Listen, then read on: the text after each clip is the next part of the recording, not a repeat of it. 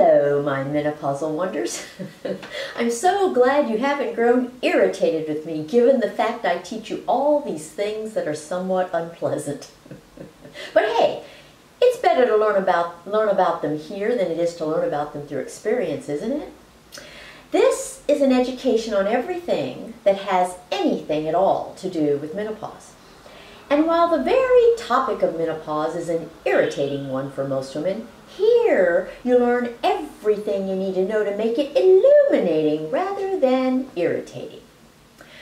We are in the midst of a huge unit on breast cancer. This is video number 371, the 16th video in the unit. And we're tackling the part of the unit pertaining to the risk factors for breast cancer. In video 369, I presented the long list of risk factors before addressing each one in a separate video dedicated just to that one risk factor.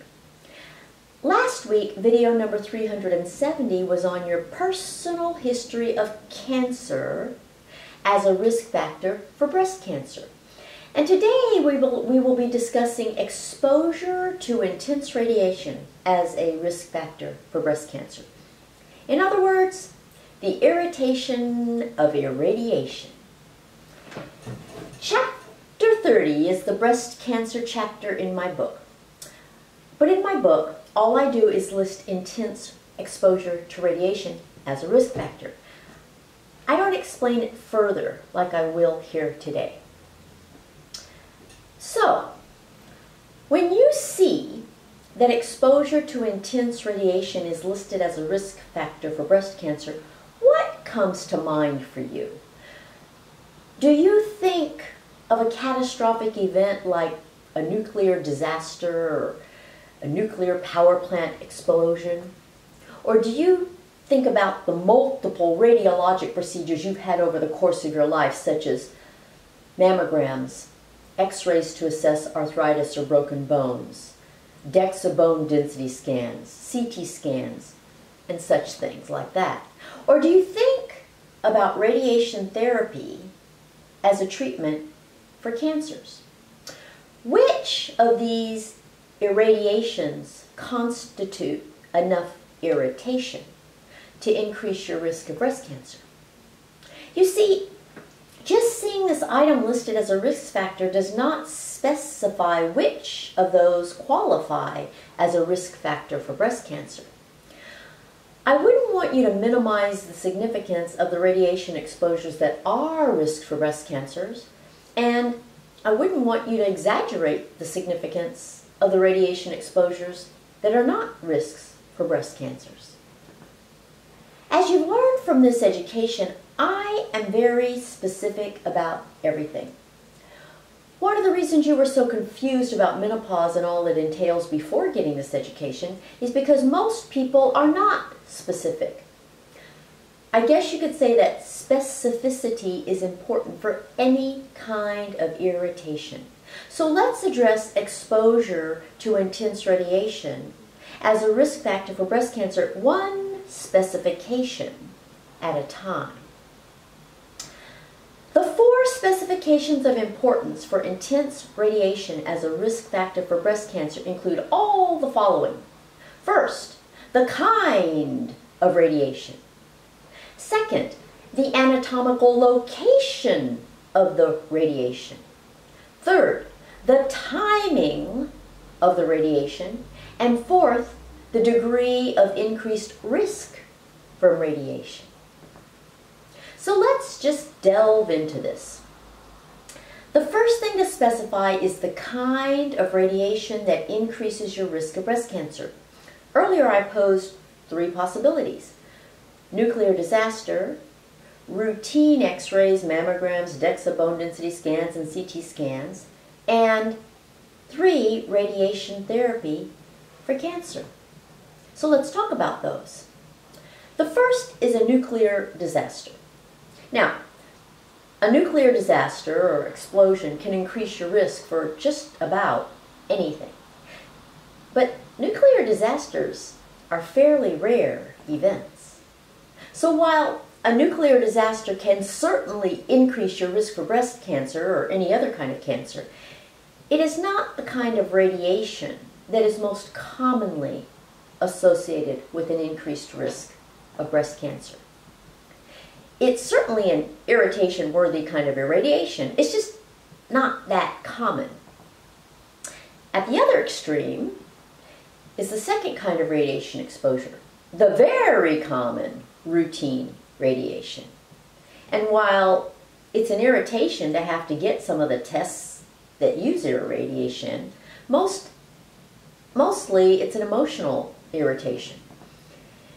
So the routine mammograms, x-rays, DEXA bone density scans, and CT scans that you have throughout your lifetime do not increase your risk for breast cancer to any significant degree.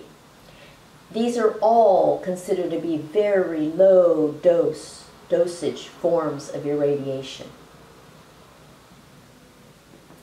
They are not irradiations resulting in cancer-worthy irritation. And that leaves us with our third kind of radiation exposure, radiation therapy for a previous cancer. And this kind of radiation exposure is commonly associated with an increased risk of breast cancer. And that's because radiation therapy for cancer is very intense. Cancer radiation qualifies for cancer-worthy irritation. So the topic of our discussion today is radiation therapy for a previous cancer. So in some ways, today's video is related to last week's video. But he's also a standalone because there are some specific things about having had intense radiation for cancer in the past that render it a risk factor for breast cancer in the future. So that does it for our first item pertaining to kind of radiation. The second thing to specify is location of the radiation in terms of anatomic location where you received the radiation therapy. In other words, what part of your body received the intense radiation? Now this is important because unlike chemotherapy, which affects all the cells in your body, radiation therapy is localized to just the part of your body bearing cancer cells. When it comes to the kind of intense radiation that increases your risk for breast cancer, it is specific for radiation therapy near your chest wall for cancer treatment. So chest wall irradiation causes the irritation. Most of the time, the kind of cancer for which you might receive such intense chest wall irradiation is a type of lymphoma called Hodgkin's lymphoma. It involves radiation of the thymus gland in your lower neck. But there are others like thyroid cancers that are also in your neck. So an important distinction to make is that the intense radiation is directly to your chest wall. It is unlikely that intense radiation to another part of your body will increase your risk for breast cancer specifically. It may increase your risk for some other kind of cancer in body parts near the irradiated area, but it is unlikely to increase your risk of breast cancer if the irradiation was not anywhere close to your breasts. The third important thing to specify is timing. And there are two aspects of timing to consider. One is when you received the radiation therapy. The other is how long afterward you are likely to develop breast cancer. So what about the timing of when you received the radiation therapy? The most common scenario in which intense radiation therapy increases your risk for breast cancer is if you receive the intense radiation before the age of 30. So the risk is increased most when the radiation therapy is done at a young age. So youthful irradiation constitutes irritation. And what about the timing of how long after radiation therapy cancer develops? Well, the increase in risk for breast cancer typically occurs about eight years after the radiation. Now, if you reflect on what I taught you in the unit on cancer in general, this makes perfect sense. You learned that it takes about seven to ten years for a cancer to be detectable. In that unit, I showed you this. It depicts the time it takes for a single cell to lose control, replicate excessively, and become diagnosable as a cancer. So you can see here that one cell becomes two, two becomes four, etc., etc., etc. And this happens over and over again until you have a cancer that can be diagnosed as a cancer. So the timeline here is all the way down to about seven years minimum. So cancers do not pop up overnight as women so commonly claim. It takes years from the time a cell is irradiated until it can create a cancer that is diagnosable. And remember, these would be cancers that are diagnosed very early simply because both the patient and the doctors of any woman who has received radiation therapy to her chest will be on the lookout for breast cancer. Now, why do you suppose intense radiation therapy to your chest wall for cancer can result in breast cancer eight years later. Well, think about what radiation therapy entails. It essentially consists of burning tissue. Well, burning tissue with irradiation is a form of intense irritation. Irradiation causes irritation. In video number 367 on hereditary versus non-hereditary breast cancer, you learned that non-hereditary cancer is due to gene damage during the course of your lifetime. Well, few things are more damaging to genes than the irritating effect of irradiation. So irradiation constitutes irritation that functions as the first step in disorganization of cells. And that disorganization of cells becomes more and more and more disorganized. You've seen this prop many, many times.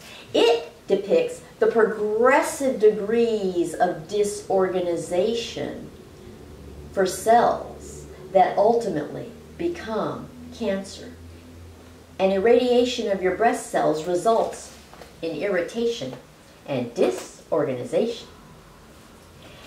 And when it comes to the likelihood of developing breast cancer following chest irradiation at a young age, it's the rule rather than the exception. So this constitutes a very high risk of breast cancer. And that brings us to the fourth and final important thing to specify, which is how much does intense radiation to your chest wall increase your risk of breast cancer? Well, by age 50, the cumulative risk from chest wall irradiation is equal to that of having a BRCA1 gene mutation.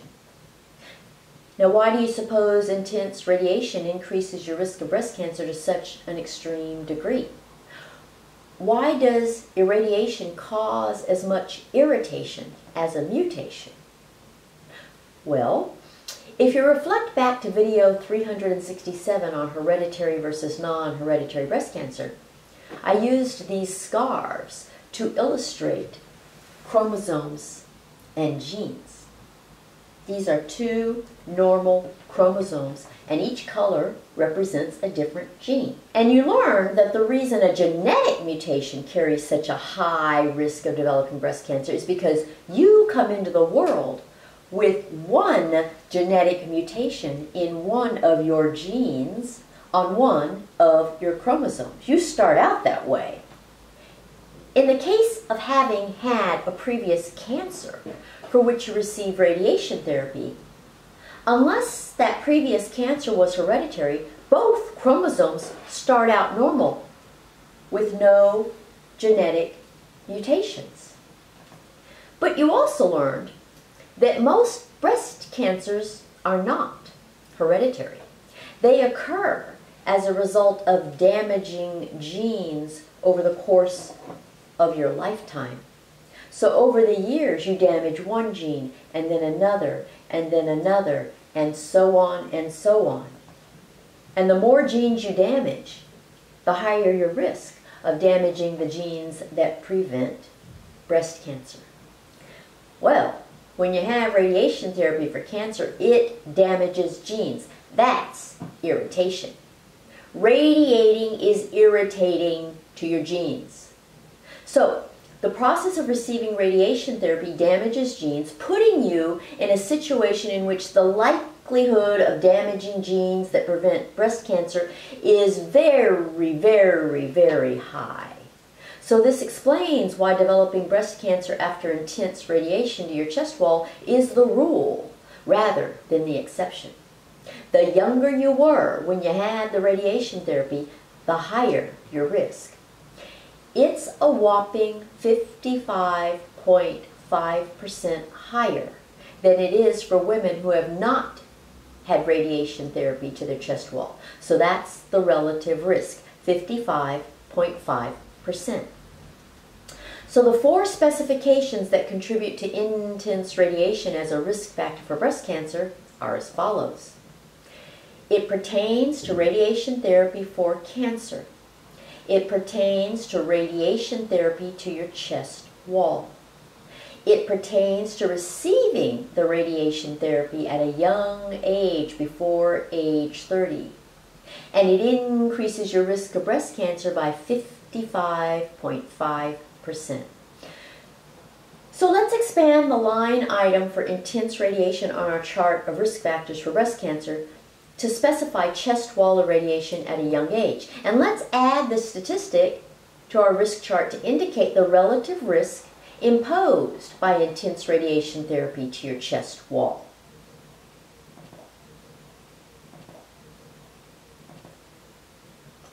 Do you see how learning the specifics helps to keep you focused on precisely what matters?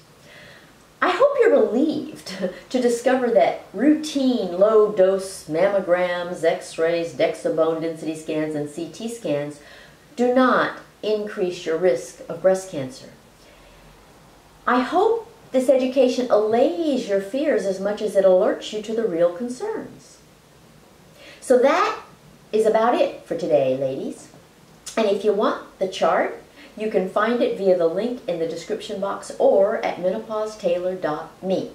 And while you're there, you can benefit greatly by scheduling a consultation at menopausetaylor.me and you can benefit greatly by subscribing to my newsletter. I sure hope you've already subscribed to this channel. And of course, you'll find me on Facebook, Instagram, Pinterest, and Stories. Come back in a week to learn about the impact of your family history on your risk for breast cancer. Boy, is that an area of complete misinformation. I'll see you then. Bye.